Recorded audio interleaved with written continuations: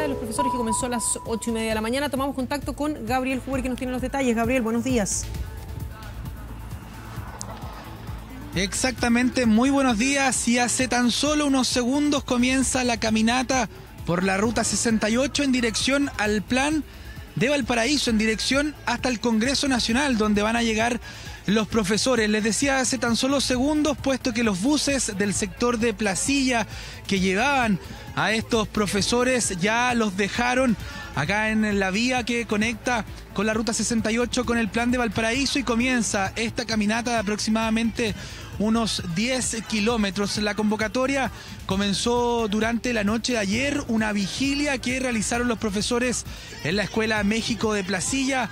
A las 8 de la mañana ya estaban reunidos en el sector de Placilla para emprender esta caminata y ya comienza esta caminata, les decía, esta manifestación, el paro nacional de profesores, donde han llegado desde todas las comunas, regiones de nuestro país, el grueso de la capital de Valparaíso, la región de O'Higgins, y hemos visto también varios lienzos y pancartas que dan cuenta de otras regiones, otros sectores de nuestro país. Emplazan al gobierno, a la ministra de Educación, Marcela Cubillos, que atiendan sus demandas, una de ellas la deuda histórica y también la eliminación de la malla curricular en tercero y cuarto medio los ramos de educación física e historia, además una serie de demandas que van en pro de mejorar la educación chilena.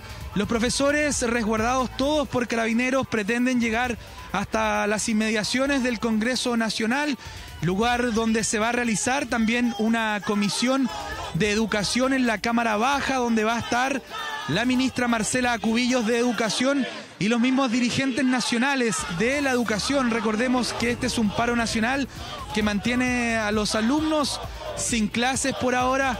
La convocatoria la realizaron durante la semana pasada, una vez que comenzó este paro nacional de profesores y ya comienzan la segunda semana de este paro nacional un completo contingente de carabineros, les comentaba, para facilitar el desplazamiento de los mismos profesores, se ha cerrado por completo el tramo, la conexión que hay entre la variante Aguasanta en la parte alta de Placilla, sector de la Ruta 68 y que conecta con el plan de Valparaíso, precisamente la avenida Argentina, que por el momento está abierto el tráfico en el plan de Valparaíso en la avenida Argentina, pero en algunos minutos más, ya cuando los profesores se acerquen a ese lugar, ese tramo va a ser interrumpido por completo.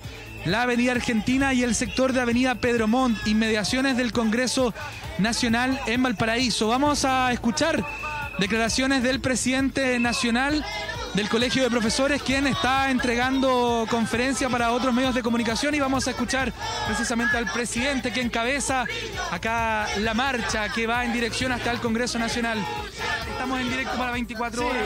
Nosotros, estaba diciendo que estamos emocionados porque yo siento emoción como presidente de este gremio tan, tan decidido, con tanta convicción, donde no estamos luchando por salario, estamos luchando por la educación chilena, que la educación pública se está cayendo a pedazos, abandonada y que necesitamos hoy día respuestas concretas del gobierno. Aquí está la respuesta del profesorado, la decisión de que la educación chilena tiene que ser atendida y ahora esperamos la, respuesta del gobierno. El gobierno tiene que escuchar, no puede desoír este clamor porque además tenemos mucho apoyo ciudadano, mucho apoyo social. Entonces el gobierno eh, está ahora en manos del gobierno que se resuelva este conflicto, que no tengamos que seguir en las calles y volvamos a nuestras clases, que es lo que nosotros queremos. Van a llegar hasta el Congreso Nacional donde se va a realizar una comisión de educación pretenden conversar con la ministra. Esa reunión ya está agendada. ¿Cuál es el planteamiento que tienen para la ministra Marcela Cubillo? Sí, la reunión con eh, la Comisión de Educación está agendada mañana, a las 9 de la mañana. Nosotros, por supuesto, vamos a estar ahí. Pero hoy día en la tarde vamos a ir a una reunión con el Ministerio que ya nos llamó anoche. Nosotros creemos que es un primer paso importante que el gobierno ya haya entendido que no podía seguir desoyendo esto. Y en la tarde vamos a estar en esa reunión eh, con el Ministerio de Educación para ver qué respuesta nos tienen al, petitorio nuestro, a las demandas que son, insisto en esto, es muy importante, son por la educación chilena, porque nuestros niños tengan mejores condiciones, porque nuestras condiciones de trabajo nos permitan atenderlos mejor. Ese es el centro de nuestras demandas. En una educación pública hoy día que está cayéndose a pedazos, plagas de ratones, infraestructura deplorable en muchos colegios, baños insalubres porque no hay, no hay artículos de aseo, eh, material pedagógico que no le llega a nuestros estudiantes. Esa es nuestra lucha hoy día y condiciones laborales nuestras para poder trabajar tranquilo con ellos son lo central de nuestro petitorio. Y por supuesto que el gobierno reconozca que existe una deuda histórica con el profesorado, que no, que no puede seguir diciendo que la deuda no existe, eso es absurdo. Y aquí estamos, miles de miles de miles, vamos a entrar vamos a caminar estos 10 kilómetros por la carretera para entrar a Valparaíso.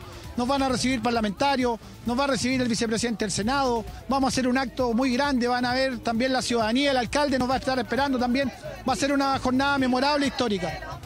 Perfecto, hablábamos con el presidente nacional del Colegio de Profesores, Mario Aguilar, quien encabeza esta multitudinaria convocatoria que se ha iniciado en la parte alta de Valparaíso, precisamente la ruta 68, sector de Placilla, y que ya comienza su marcha, su caminata hasta el Congreso Nacional. Vamos a seguir atentos siguiendo esta marcha. Nosotros estamos en el principio, pueden ver la gran cantidad de gente que se ha sumado y vamos a estar atentos entonces para llevar todos los detalles en las próximas ediciones de 24 horas. Carolina. Muy bien, Gabriel, muchísimas gracias por eh, traernos también las palabras, en este caso, de eh, el presidente entonces de la